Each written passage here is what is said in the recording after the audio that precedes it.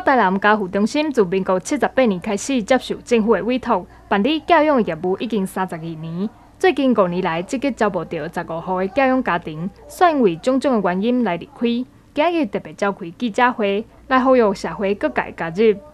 这几年哈，就是我们大概统计了一下哈，啊，我们好不容易招募到十五户寄养家庭，但是呢，因为届龄退休或个人因素流失的家庭大概有二十七户哈，那这也是我们从五十八户一下子降到四十三户的最重要的一个原因哈。假如你的家庭是愿意来参与的哈，那只要你年满二十五岁到六十岁中间哈，然后啊家境家庭经济小康哈，然后家里有。啊，可以给孩子住的空间，然后国夫妻里面国中以上的水历，就可以来担任我们的寄养家庭。会中邀请到介龄退休的两户家庭，也有中生代甲新加入的家庭，以着骑脚踏车接力的方式来呈现目前拄到无人接得起的状况。捌担任过教养家庭的北大南家会主委郑淑秋就讲，虽然照顾过程真无简单，但是看到囡仔大汉了，也阁会记得因的好，伊就感觉真满足。其实寄养家庭呢。不是一个人的事情，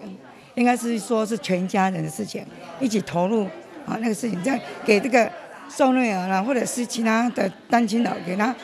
满满的爱，让他感受到社会的温暖，啊，不会以后不会成为一个社会的负担。我觉得是寄养家庭很大的责任。目前寄养家庭甲需要安迪的儿童比起来，数量真正无够。北大南家父呼吁大家，应要拍开家门来帮助这囡仔。有兴趣或者是有任何问题的民众，拢欢迎打电话去北家户询问。请求支援。南台新闻王玉德深夜采访报道。